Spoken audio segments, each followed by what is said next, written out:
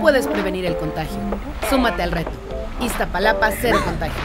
El uso de cubrebocas, el lavado de manos y el uso de gel antibacterial pueden prevenir el contagio de coronavirus. No salgas de casa sin tu cubrebocas y gel antibacterial. Si tienes síntomas sospechosos como fiebre, tos seca, cansancio y dificultad para respirar, envía un mensaje de texto al número 51515 con la palabra COVID-19 o llama a Locatel al 55 56 58 11 11. Recuerda que la atención médica a tiempo puede salvar tu vida. Tú puedes prevenir el contagio. Súmate al reto. Iztapalapa, cero contagios.